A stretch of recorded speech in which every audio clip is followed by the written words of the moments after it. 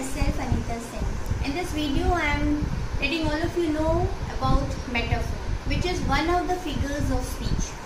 In metaphor, two comparisons are made between two unlike things. It creates a direct relationship.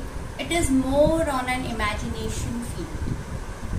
Like when we say the road to success is long. Here, success comparison to the road. Now, when we say he breezed into the road, breezed into the road, concept imagination comes, she is breezing into or he is breezing into. And when we say the world is a stage, world compared to a stage where we all are going to play different roles. That is a metaphor. When we say he is the apple of my eye, imagination, apple of my eye. Or when we say she is an angel, she is a beautiful soul, a good human being. This is where a direct comparison is being made in metaphor.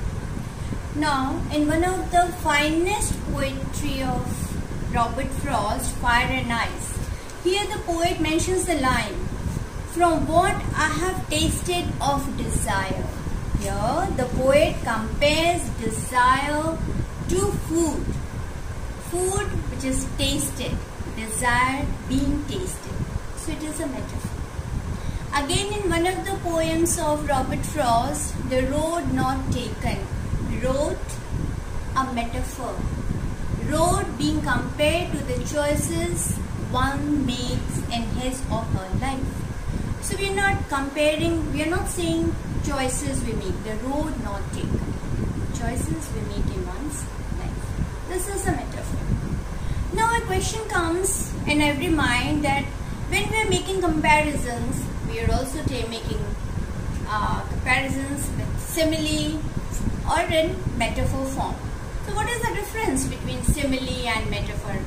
Yeah, when we are uh, talking of metaphor, there comes in a mind that simile itself is also a comparison between two unlike objects. And then what is, the difference between simile and metaphor? Yeah, good question. That comes in a mind. In simile, when a comparison is made between two different things, we use the word like, so, as. And metaphor, we are making direct comparison. Like for example, when we say, she is like an angel. Like an angel, a simile because we are using the word like. And in metaphor we are directly saying she is an angel. So we are merging she an angel and combining into two she is an angel. Like when we say the our soldiers fought like a lion.